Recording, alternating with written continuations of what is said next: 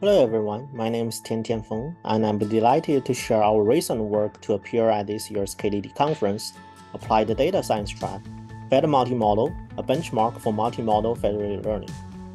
The success of deep learning and mobile computing unlocked the ability to collect a wide range of human-centric signals, enabling the chance to understand how people think, interact, and feel in real life.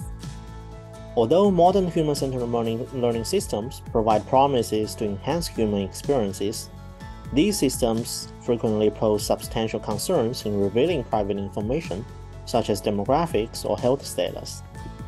Federated learning is a popular privacy-enhancing learning algorithm that enables machine learning in distributed systems without sharing user data.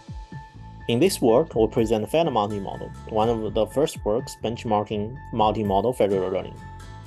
FedMultimodal provides an end-to-end learning recipe from data partitioning, feature extraction, federated learning algorithms to multimodal learning, covering a wide range of applications and many unique modalities. FedMultimodal provides an opportunities to compare unimodal federated learning and multimodal federated learning.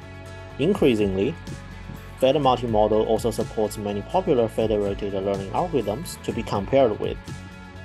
Furthermore, FedMultimodal provides tools for future research to study multimodal federated learning with low quality data, including missing modalities, missing labels, and erroneous labels. We believe that FedMultimodal also opens many opportunities in future multimodal federated learning studies to include broader inter-multidisciplinary applications, novel algorithms, privacy implications, and also connections to foundation models. Lastly, I would like to thank all the funding support.